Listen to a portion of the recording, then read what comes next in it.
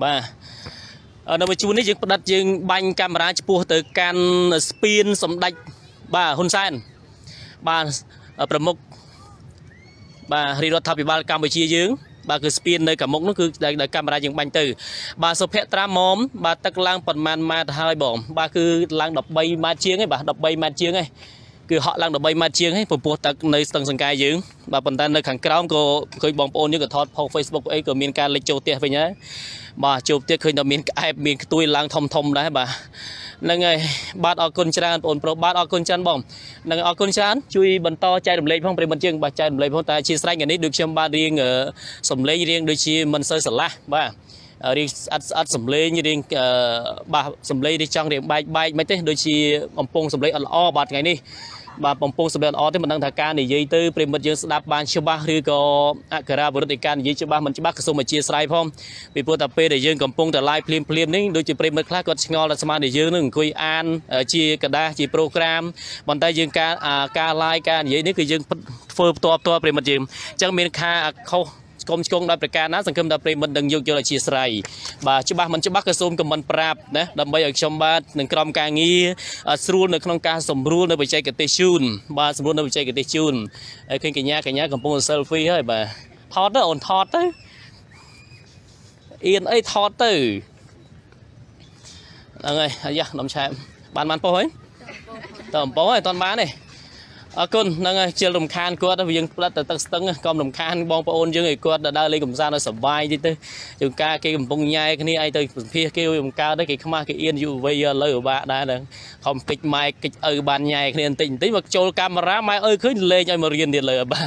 ឥឡូវមកចំណុចនេះមួយទៀតបងប្អូនយើងបាទបន្តទៅទៀតប្រិមិត្តណាបាទបន្តទៅទៀតដែលយើងចិត្តដល់ស្ពានសម្ដេចបាទហ៊ុនសែននៅកំមុខហើយ បាទរៀងហត់បន្តិចព្រោះយើងដើរមកឆ្ងាយដែរបាទដើរមកឆ្ងាយដើរផងនិយាយផងបាទលើសូមបង្វិលកាមេរ៉ាបងប្អូនមើលផ្ទៃទឹកតិចទៅបាទនេះគឺផ្ទៃទឹកស្ថានភាពនៃទឹកនៃការហក់ឡើងជាលើកទី2ប្រិមិត្តបាទជាលើកទី2 បាទដូចខ្ញុំបាននៅសេនៅក្នុង caption អញ្ចឹងការហក់ឡើងជាលើកទី2កម្ពស់13ម៉ែត្រហើយបាទក្នុងក្នុង13ម៉ែត្រហើយការហក់ឡើងដូចជារដ្ឋបាលក្រុងបាត់ដំបងយើងក៏លោកបានជម្រាបជូនទៅកាន់បងប្អូនយើងទាំងប្រជាពលរដ្ឋទាំងខេត្តបាត់ដំបងយើងទាំងអស់ហើយជាពិសេសគឺបងប្អូនប្រជាពលរដ្ឋដែលរស់នៅតាមបណ្ដោយស្ទឹងសង្កែបាទយើងគិតទៅចាប់ពីបណ្ណុនមកនោះបាទរហូតធ្លាក់ដល់បាក់ព្រាព្រែកត្រប់បាទនឹងអ្នកដែលនៅរាប់មាត់ស្ទឹងសង្កែទាំងអស់ហ្នឹងឲ្យមានការប្រុងប្រយ័ត្នខ្ពស់ បាទមានការប្រុងប្រយ័ត្នខ្ពស់ពីព្រោះថាអូខេបុនធៀងបុនធៀងចត្រាសុស្ដីបាទបងហ្នឹងហើយព្រោះថាពេលដែលទឹកឡើងទឹកហូរអញ្ចឹងវាអាចច្រោះទៅលើជើងសអសផ្ទះគ្រឿនផ្ទះរបស់បងប្អូនយើងអាចច្រោះហូរដេកដេកដេកដេកគេងគេងគេងគេងភ្ញាក់ឡើងនៅកណ្ដាលទឹកបាទភ្ញាក់ឡើងនៅកណ្ដាលទឹកអីចប់រយវីវនឹងស្រែករោណាលឺទេប្រិមិត្តយើងអញ្ចឹងក៏ទីមុតចឹងថាហានិភ័យពាក្យហានិភ័យឥឡូវគេពេញនិយមមកប្រិមិត្តដល់បាទ បាទប្រិមិត្តយើងគាត់ថាផត់ហានិភ័យនៅបងមិនទាន់បានផត់ទេប្រិមិត្តយើងបាទគឺកំពុងតែមានហានិភ័យអញ្ចឹងហានិភ័យនេះគឺចេញពីនេសាទក្រពើបាទវគ្គ2តែម្ដងប្រិមិត្តយើងបាទវគ្គនេសាទក្រពើវគ្គ2ឥឡូវខ្ញុំបាទនឹងទៅឈោពីលើបាទស្ពានបាទឈោពីលើស្ពានសម្ដេចកលាហោមសខេងដើម្បីនៅក្នុងការផ្ដិតយកនៅទស្សនវិជ្ជាផ្ទៃទឹកបាទនៅផ្ទៃទឹកទាំងស្រុងឥឡូវគឺចាប់ដោយរូបភាពឲ្យបងប្អូនមើលថាការហក់ឡើងសម្រាប់ស្ថានភាពនៃការហក់ឡើងលើកទី2ហ្នឹងវាខ្លាំងជាងលើកទី1ទៀត បាទដោយសារតែនៅខាងលើយើងមានការក្រសួងធនធានទឹកក៏មានការបើកនៅទំនប់បាទទំនប់ក្រហតជានឹងឲ្យដូចជាទំនប់បាទពហុបំណង2នៅខាងសៃសអឯណោះហើយក៏ដូចជាមានការភ្លៀងខ្លាំងនៅខាងសំឡូតអញ្ចឹងធ្វើឲ្យទឹកគឺមានការហក់ឡើងខ្ពស់បាទហូរចូលទៅសង្កែប៉ុន្តែសម្រាប់នៅក្នុងក្រុងបាត់ដំបងផ្ទាល់នេះគឺអត់មានភ្លៀងអត់មានផ្គរទេបងប្អូនបាទគឺមេឃស្រឡះល្អហើយទឹកនេះគឺទឹកភ្លៀងមកពីខាងលើបាទអញ្ចឹងគឺបងប្អូនអាចមើលពី បាទចំណុចដែលខ្ញុំចាប់ពី Tennyson ទៅបាទហើយបន្តិចទៀតខ្ញុំនឹងធ្វើដំណើរទៅលើស្ពានឲ្យមើលដល់ពីបណ្ដោយដងស្ទឹងបាទអញ្ចឹងគឺស្ពានទឹកស្ទឹងគឺឡើងព្រៀបទៅប្រិមិត្តយើងបាទឡើងព្រៀបដល់ស្ពានលើបាទឡើងស្ពានទៅដល់ព្រៀបមកដល់បាតស្ពានទៅហើយបាទមកដល់ខាងចាល់លើក៏លើស្ពានប្រិមិត្តអញ្ចឹងអាចទស្សនាមើលទាំងអស់គ្នាទៅបាទហ្នឹងហើយបាទគឺព្រៀបទាំងអស់គ្នាហើយជឿឃើញថាពេលដែលទឹកឡើងអញ្ចឹងវា ជាពិសេសកដើមឈើដែលដុះបាទអមនៅមាត់ស្ទឹងក៏មានការដួលរលំបាទមានការដួលរលំដែរប្រិមិត្តយើងបាទហើយខ្ញុំនឹងចាប់បំវាយកាមេរ៉ាបាទហើយនេះគឺសូមបញ្ជាក់ផងដែរខ្ញុំឈោនេះគឺឈោនៅត្រៃខាងកើតបាទឈោនៅ តីកាឡាសួនច្បារសម្ដេចសខេងតែម្ដងគឺនៅត្រៃខាងកើតដើម្បីនឹងឈប់ដិតយកនៅរូបភាពដ៏ស្រស់ស្អាតអំពីមាត់ស្ទឹងយើងក៏ដូចជាទឹករូបភាពទឹកចំនួនជន់ដោយសារទឹកភ្លៀងដែលបានហក់ឡើងបាទដែលបានហក់ឡើងខ្ពស់ជាលើកទី2បាទហក់ឡើងខ្ពស់ជាលើកទី2ណាអានេះគឺជាប្រការមួយដែលយើងជំរាបជូនដំណឹងទៅកាន់បងប្អូនបាទប្រជាពលរដ្ឋទាំងអស់ដែលរស់នៅតាមបណ្ដោយដងស្ទឹងសង្កែក៏ដូចជារដ្ឋបាលក្រុងបាត់ដំបងក៏លោកបានជំរាបផងដែរតាក់ទងជាមួយនឹងស្ថានភាពទឹកដែលមានការហក់ឡើងនេះគឺជំរាបទៅកាន់បងប្អូនប្រជាពលរដ្ឋយើងទាំងអស់ដែលអ្នករស់នៅតាមបណ្ដោយស្ទឹងអ្នកនេសាទអីជាដើមនោះគឺសូមជំលះឬក៏ដកឃ្លាមកនៅទីទួលដែលមានសុវត្ថិភាពក៏ប្រយ័ត្នប្រយែងទាំងអស់គ្នាបាទដើមថ្នោតទី1ទៀតហើយបាទ ហើយនេះគឺយើងផ្ដិតមួយកន្លែងមួយជ្រុងទៀតប្រិមិត្តយើងចាប់មួយជ្រុងទៀតបាទរៀងដូចជាសំឡេងដូចជាមិនសូវមូលប្រមាណបាទកនេះរៀងបែកសំឡេងបាទមិនមានហានិភ័យប្រិមិត្តណាហ្នឹងហើយបាទអញ្ជើញមើលតិចទឹកទាំងអស់គ្នាទៅអាចខមមិនសួរបានបងប្រិមិត្តយើងបើសិនជាមានជាការខមមិនសាកសួរយ៉ាងណាក៏អាចសួរបានបើខ្ញុំមើលទាល់ខ្ញុំនឹងឆ្លើយហើយស្មើនេះគឺបងប្អូនយើងគាត់ចេញពី បាទធ្វើការឲ្យបាទចេញពីតាមបណ្ដាអង្គភាពផ្សេងផ្សេងនានាចឹងក៏ការធ្វើដំណើររបស់បងប្អូនយើងគឺឆ្វាត់ឆ្វែងបាទនៅលើដងវិធីចឹងក៏សូមជូនពរបាទស្របជាមួយនឹងការរាយការណ៍តាក់ទងអំពីស្ថានភាពទឹកសឹងឡើងក៏ជូនពរទៅកាន់បងប្អូនយើងដែលធ្វើដំណើរតាមដងវិធីសូមឲ្យទទួលបាននូវសុវត្ថិភាពទាំងអស់គ្នាឥឡូវយើងទៅឈរលើស្ពានបាទខ្ញុំសូមនាំបងប្អូនយើងទៅឈរលើស្ពានបាទស្ពាននេះគឺជាស្ពានកណ្ដាលគឺស្ពានសម្ដេចកលាហោមសោខេងតំណងប្រិមិត្តបាទ ហើយឃើញថាមានបងបងកម្លាំងប៉ូលីសចរាចរណ៍មន្ត្រីសមត្ថកិច្ចក៏លោកនៅតែមានការឈោនៅដាក់មើលទៅដល់បងប្អូនយើងដែរបាទអញ្ចឹងកង់ពលឺច្បាស់ច្បាស់សូមអធិស្ឋានដោយសារតែល្ងាចថ្មនេះបាទម៉ោង4បាទម៉ោង4ថ្ងៃវារៀងទៀបទៅហើយបាទថ្ងៃរៀងទៀបអញ្ចឹងគឺអាចតែចាំងនៅពលឺថ្ងៃកង់នៅពលឺថ្ងៃយ៉ាងណានោះប្រិមិត្តយើងអាចមើលហើយជួយប្រាប់ផងគេថាកាមេរ៉ាមិនច្បាស់ឬក៏សំឡេងមិនលឺយ៉ាងណាជួយខមមិនប្រាប់ផងបាទ ខ្ញុំឈោមកចំណុចកណ្ដាលស្ពានតែម្ដងបាទនៅចំណុចកណ្ដាលស្ពានបាទចំចំណុចកណ្ដាលស្ពានតែម្ដងបាទយើងមើលទឹកស្ទឹងបាទមើលទឹកស្ទឹងដែលបានហក់ឡើងជាលើកទី2បាទស្ថានភាពទឹកស្ទឹងហក់ឡើងជាលើកទី2គឺឡើងខ្លាំងបាទ Here is still raining no បាទរៀនរៀនភ្លៀងពីខាងលើប្រិមត្តយើងបាទសម្រាប់នៅក្នុងក្រុងបាត់ដំបងបាទហើយជេរីបាទជេរីសេងបាទហ្នឹងហើយគឺ ភ្លៀងភ្លៀងនៅអូអធិស្ឋាន rate okay reading ហ្នឹងហើយអូខេច្បាស់ហើយបងអរគុណច្រើនប្រិមិត្តជួយ share ផងបាទនេះគឺជាទឹកស្ទឹងដែលឡើងលើកទី2ណាបងប្អូនយើងអញ្ចឹងការពីលើកទី1ក្នុងថ្ងៃទី9ទី10គឺខ្ញុំបានបាន live ជូនតាក់ទងនឹងស្ថានភាពទឹកស្ទឹងសង្កែដែលបានឡើងខ្ពស់ហើយដូចជាបាទសេចក្តីជូនដំណឹងពីរដ្ឋបាលក្រុងបាត់ដំបងដែលជូនដំណឹងទៅកាន់បងប្អូនប្រជាពលរដ្ឋជាពិសេសគឺបងប្អូនប្រជាពលរដ្ឋដែលរស់នៅតាមបណ្ដោយដងស្ទឹងតែម្ដងបាទ តាមបណ្ដោយដងស្ទឹងសង្កែទាំងខាងលើខាងក្រោមគឺសូមឲ្យមានការប្រុងប្រយ័ត្នបាទទាំងអស់គ្នាពីព្រោះកាលណាដែលទឹកគេបើកមកពីខាងលើចោលពីខាងលើវាអាចបុកចូលស្ទឹង បើហូរចូលស្ទឹងធ្វើឲ្យទឹកនោះវាមានការឡើងខ្ពស់ហក់ឡើងខ្ពស់ដោយយើងមិនអាចថានឹងកម្រិតបានឬក៏យើងមិនអាចនឹងគ្រប់គ្រងស្ថានភាពទឹកបានអញ្ចឹងគឺមានតែការចូលរួមប្រុងប្រយ័ត្នទាំងអស់គ្នាបាទពីបងប្អូនយើងចូលរួមនៅក្នុងការបាទថែទាំបាទចង់និយាយថាថែអំពីសុខភាពទាំងអស់គ្នាជំលះតាក់ទងជាមួយនឹងបញ្ហាដែលគ្រោះទឹកចំនួនដែលឡើងខ្លាំងនេះដែលផ្ទះយើងលិចលិចចិត្តខាងក្រែងវាបាក់ដើមឈើបាក់ស្រត់យ៉ាងណានោះ អញ្ចឹងគឺបងប្អូនប្រិមិត្តអាចបាទតាក់ទងអាជ្ញាធរដែនដីឬក៏មានចម្រុកយ៉ាងណាគឺតាក់ទងទៅកាន់មន្ត្រីអាជ្ញាធរដែនដីភូមិឃុំដើម្បីឲ្យពួកគាត់ជួយសម្រួលទៅលើបញ្ហាបាទប្រស័យរស់នៅយ៉ាងណាដើម្បីជៀសផុតអំពីទឹក ដែលហក់ឡើងនេះគឺបងប្អូនអាចប្រស្រ័យតាក់ទងជាមួយនឹងអាជ្ញាធរដែនដីភូមិឃុំបានពីព្រោះថាអាជ្ញាធរដែនដីភូមិឃុំគឺលោកមានការមមាញឹកណាស់បាទសកម្មណាស់រយៈពេលចាប់ពីគ្រោះទឹកចំនួនដែលបានវាយលុកនៅក្នុងបណ្ដាខេត្តមួយចំនួនដូចជាខេត្តបាត់ដំបងយើងដែលមានជាច្រើនស្រុកដែលទៅរងគ្រោះនោះគឺលោកតែងតែមានការសកម្មជាមួយនឹងកងកម្លាំងហើយបងបងកងកម្លាំងក៏ដូចជាបាទលោកអភិបាលខេត្តបាទខេត្តរងលោកអភិបាលក្រុងគឺលោកតែងតែមានការសកម្មតែម្ដង បាទនេះគឺយើងចាប់ទៅម្ខាងទៀតប្រិមិត្តណាបាទចាប់ទៅរូបភាពម្ខាងទៀតដើម្បីបងប្អូនយើងមើលសពជ្រុងជ្រួយបាទហើយទឹកនេះក៏សូមជម្រាបផងដែរគឺហក់ឡើងដាបស្ពានបាទដាបដល់ធ្នំស្ពានខាងលើហើយប្រិមិត្តយើងបាទគឺដល់ទៅលើស្ពានធ្នំស្ពានខាងលើដែរហើយខ្ញុំនឹងដែរឆ្លងទៅខាងខាងនោះស្ពានបាទទៅម្ខាងទៀតប៉ុន្តែលើដោយសារឡានច្រើនបាទចាំមើលខ្ញុំនឹងសេរីដែរជូនប្រិមិត្តយើងណាបាទឲ្យបងប្អូនបានទស្សនាទាំងអស់គ្នានៅពេលល្ងាចបាទទាំងការមើលទឹកស្ទឹងក៏ដូចជាការធ្វើចរាចរណ៍ របស់បងប្អូនយើងនៅលើដងវិថីនេះបាទចង់ដឹងថាតើបាត់ដំបងនោះគឺមានភាពរីកចម្រើនដូចជាការស៊ីវិល័យយ៉ាងណាដែរបងប្អូននឹងអាចមើលទៅតាមផ្ទាំងទស្សនីយភាពដែលយើងខ្ញុំជាអង្គភាពសារព័ត៌មាននឹងចាប់យកផ្ដិតជូនទៅកាន់បងប្អូនដែលនៅអ្នកនៅឯនេះសមុទ្រជាដើមបាទ អញ្ចឹងគឺយើងបានឆ្លងមកដល់មកខាងទៀតហើយត្រូវមកខាងទៀតអញ្ចឹងគឺទឹកស្ទឹងបើប្រិមិត្តយើងឃើញណាបាទច្បាស់អរគុណច្រើនបាទហ៊ុនសុភ័ក្រអរគុណពពបាទអរគុណច្រើនពពហ្នឹងហើយព្រោះឥឡូវពេលក្មេងពេញនិយមគេមានពាក្យថ្មីមួយទៀតក្មេងៗគាត់ពេញនិយមប្រើពាក្យហានិភ័យឥឡូវនេះបាទតាមគ្នាតាមគ្នាទៅប្រិមិត្តយើង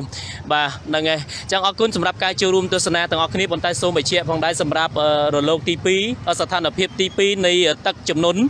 បាទទឹកចំនួនដែលជន់ដោយសារទឹកភ្លៀងនេះដែលបានឡើងបាទហូរចូលមកដល់នៅក្នុងស្ទឹងសង្កែយើងនៅក្រុងបាត់ដំបងនេះគឺជាលើកទី2បាទរលកទឹកជាលើកទី2ហើយក៏ឡើងកម្ពស់ខ្ពស់ជាងមុនទៅទៀតហើយជាពិសេសគឺបងប្អូនយើងដែលនៅបាទខាងក្រោមបាទនៅរອບដំស្ទឹងទៅមជួរបាទចាប់ពីសុភីបាទបើចាប់ពីវត្តសុភីទៅបាទនឹងឲ្យចាប់ពីវត្តសុភីដូចជាទៅខាងស្លាកែតខាងក្តោដូនទាវខាងព្រៃក្រូចនេះគឺគាត់មានការទឹកជូរទឹកនេះដោយសារតំបន់នោះវាទៀបបាទទំនៀមវាទៀបអញ្ចឹងទៅគឺនេកចូលផ្ទះគាត់អញ្ចឹងគឺសូមឲ្យបងប្អូនប្រម៉ែប្រមូលនៅរបស់របរសម្ភារៈដែលមានតម្លៃដូចជាខោអាវសម្លៀកបំពាក់ហើយជាពិសេសគឺយើងត្រូវប្រយ័ត្នតាក់ទងជាមួយនឹងបាទប្រយ័ត្នតាក់ទងអំពីបញ្ហាដែលពេលដែលទឹកលិចវាតែងតែមានបាទសัตว์ បាទអសេរពឹសហើយអាចថាជួនកាលមានជាពោះវែចឹងទៅឬក៏មានជាខ្ទួយក្អែបហើយចឹងទៅខ្ញាស់ដំរីចឹងទៅវាអាចឡើងទៅសងំពូនទៅលើក្រេលើពុកលើខ្នើយពេលដែលយើងគេមិនបានមើលឲ្យបានជ្រុបជុងជួយដិតដល់ធ្វើឲ្យយើងនោះវាអាចតែមានជាបញ្ហាដោយសារតែសัตว์បង្កឡើងដោយសារសัตว์ចឹងគឺប្រិមិត្តយើងពុកម៉ែបងប្អូនបងប្អូនប្រជាពលរដ្ឋទាំងអស់ក៏សូមចូលរួមបាទទប់ស្កាត់ទាំងអស់គ្នាការពារនៅការកើតឡើងដោយប្រការណាមួយពីសត្វល្អិតក្តីក៏ដូចជាតាក់ទងជាមួយនឹងបញ្ហាទឹកឡើងនេះការបន្ទោបងក៏សូមឲ្យបន្ទោបងឲ្យមាន អនាម័យការផឹកទឹកផឹកទឹកយើងនិយាយផឹកទៅបាទព្រោះញ៉ាំញ៉ាំបាយញ៉ាំអីបើតែផឹកទឹកសូមដាំទឹកឲ្យបានឆ្អិនល្អបើសិនជាយើងមិនបានមានទឹកស្អាតបាទមិនមានទឹកស្អាតនៅក្នុងការបរិភោគជាប្រចាំទេយើងសូមដាំ បាទប្រិមិត្តយើងអាចដាំទឹកទៅបាទទឹកយើងដាំឲ្យបានស្អាតឲ្យពុះឆ្អិនល្អចឹងទៅមិនថាជាដាំផឹកឬក៏ដាំឆុងមីឆុងតែនោះទេឆុងកាហ្វេទៅដាំឲ្យបានល្អដើម្បីការពារនៃការចុកឆ្អល់ឆ្អោរាករូសបាទផ្សេងផ្សេងជាដើមប្រិមិត្តយើងហើយសម្រាប់វត្តមានបាទសម្រាប់មន្ត្រីយើងរាល់ប្រហែលថ្ងៃនេះក៏ដូចជាឯកឧត្តមលោកជំទាវហើយជាសេះគឺប្រមុខនៃថ្នាក់ដឹកនាំយើងគឺសម្ដេចអគ្គមហាសេនាបតីដេជូហ៊ុនសែនក៏ដូចជាសម្ដេចកតិបណ្ឌិតកតិប្រតិបណ្ឌិតបុរនីហ៊ុនសែនលោកក៏តែងតែមានការផ្ដល់ជាអំណោយមនុស្សធម៌ដែលទទួលបានអំពីសប្បុរសជនជាច្រើនបាទដូចជាសម្ដេចកលាហោមសខេងឧបនាយករដ្ឋមន្ត្រីរដ្ឋមន្ត្រីក្រសួងមហាផ្ទៃក៏លោកតែងតែមានការដែលចុះមើលគ្រប់ស្ថានភាពទាំងអស់បាទយើងបានដឹងហើយបាទគឺប្រហែលថ្ងៃមុននោះកាលពីថ្ងៃមុននេះគឺសម្ដេចលោកបានចុះទៅខាងខេត្តបន្ទាយមានជ័យហើយដូចជាខាងឡើងទៅខេត្តបន្ទាយក្រុងបៃលិនខេត្តប៉ោយប៉ែតខេត្តបន្ទាយមានជ័យយើងនេះបាទក៏តាមបណ្ដាខេត្តផ្សេងៗដូចកាត់បាត់ដំបងក៏មានវត្តមានលោកចំទាវបាទអំណោយរបស់លោកចំទាវបាទប្រហែលថ្ងៃនេះគឺមានឃើញថាវត្តមានរបស់លោកចំទាវបាទពេជ្រច័ន្ទមុនីហ៊ុនម៉ាណែតក៏មានការដឹកនាំដោយយកនៅអំណោយសម្ដេចកលាហោសម្ដេចអគ្គមហាសេនាបតីតេជោហ៊ុនសែនរួមជាមួយនឹងសម្ដេចបាទកតិព្រឹទ្ធបណ្ឌិតបាទកតិព្រឹទ្ធបណ្ឌិតនេះបាទយាតចង់ត្រូវបាទកន្លែងនេះវិញមកយើងបាទហ្នឹងហើយ